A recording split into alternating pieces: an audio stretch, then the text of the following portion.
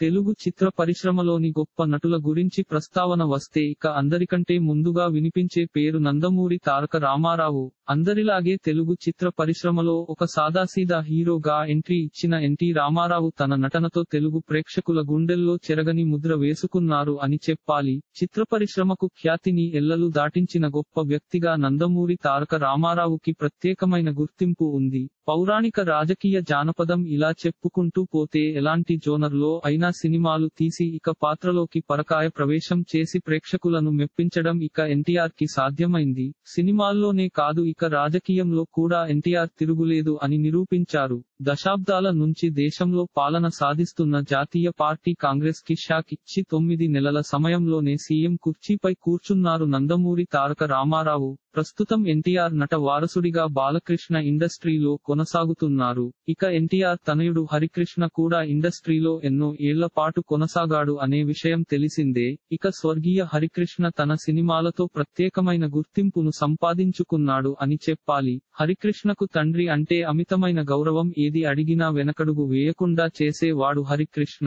అయితే సినిమాల్లోకి వచ్చిన కొత్తలో హరికృష్ణ తనకంటూ ప్రత్యేకంగా ఒక సినిమా హాలు నిర్మించి ఇవ్వాలని అంటూ తండ్రి ఎన్టీఆర్కు అడిగారట. అయితే ఇదే విషయంపై తన మిత్రుడు అక్కినేని నాగేశ్వరరావును ఒక సలహా అడిగారు అన్నగారు. థియేటర్ కంటే ఒక స్టూడియో నిర్మిస్తే చాలా బాగుంటుంది వ్యాపారం కూడా కలిసి వస్తుంది అని సలహా ఇచ్చారట అక్కినేని. ఇక దీంతో సినిమా హాలు నిర్మించే దలుచుకోలేదు. అంటూ హరికృష్ణకు చెప్పారట అన్నగారు. ఈ క్రమంలోనే తండ్రి మీద అలకబూనిన హరికృష్ణ రెండేళ్ళ పాటు ఆయనతో మాట్లాడలేదట.